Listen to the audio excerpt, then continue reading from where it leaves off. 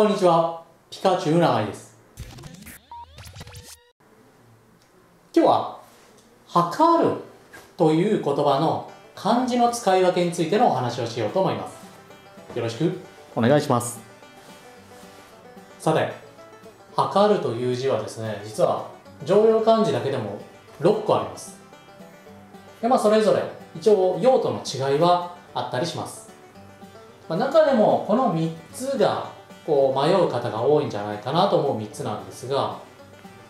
測る。測る測る。ね。なんかこ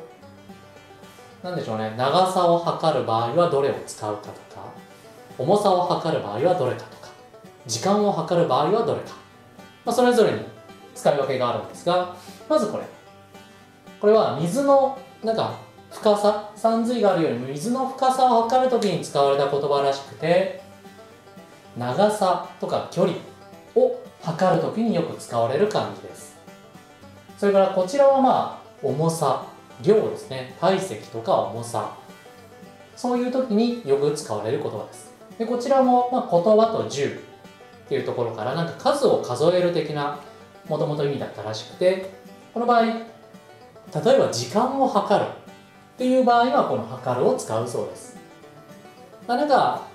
結構最近はもうこの辺ごちゃごちゃごちゃになっちゃって明確な使い分けってあんまりなかったりするんですが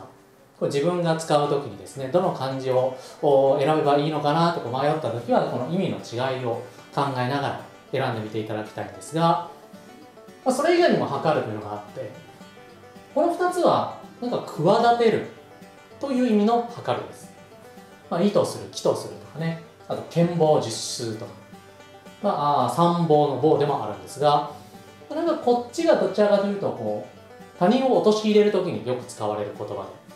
あ、そっちはあんまりそういう意味がなくて、まあ、なんかいいこと悪いことみたいな漠然とした違いがあるかなぐらいですねこれがちょっと分かりづらいんですがなんかこう上の人から下の人に相談する的な意味があるらしくて、まあ、議会に測るとかそういう時に使われる言葉です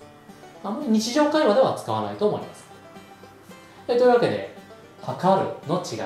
特にこの3つは覚えておくと楽かなと思います。では以上です。ありがとうございました。